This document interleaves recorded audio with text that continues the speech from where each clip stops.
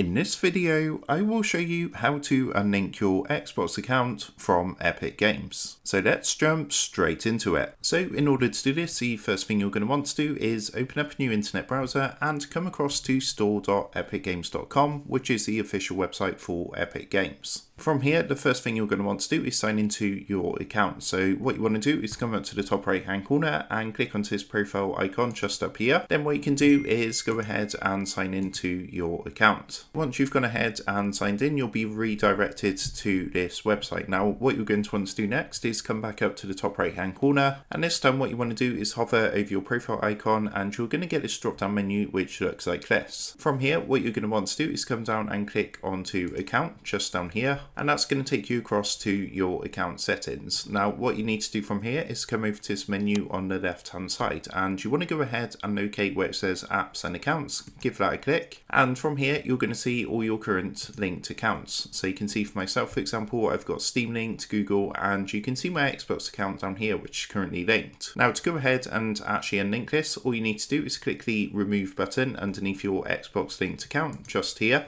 and what that's going to do is open up a window like this. So all you need to do, it says here, you are about to remove access for your Epic Games account to your Xbox Network account. So what you want to do is tick the full box down here. So make sure you read through this and select all the statements to agree to them. Then what you can do is come down and press the red remove account button. Once you've done that, you're going to see a message at the bottom which says you've successfully removed your Xbox Network account from your Epic Games account. As you can see, it is no longer linked. Of course, if you want to link this back up, all you need to do is come back to this page, press the connect button, and just go through the steps to relink your account. So that is how to unlink your Xbox account from Epic Games. With that being said, I hope this tutorial did help you out today, and if this did help you out, I would really appreciate it if you was to consider dropping down below the video, leaving a like, and also subscribing to the channel. With that being said, I just want to take a minute thank you guys for watching this quick tutorial, and I will see you in in the next video.